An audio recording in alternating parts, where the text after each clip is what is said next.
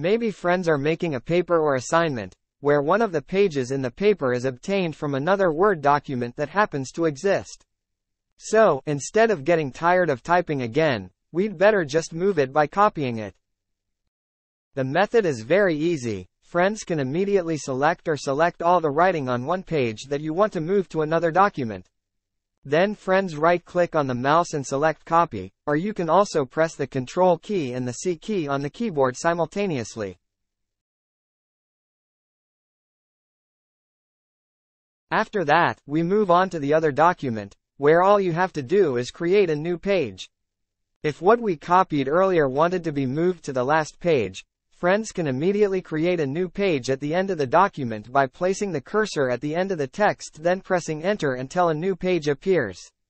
The method is the same, if you want to place the copy in the middle of the document. After creating a new page, friends can immediately paste the writing from one page earlier on the new page. If friends paste in the middle of the document, Make sure the writing on the page below is not messy or not too low.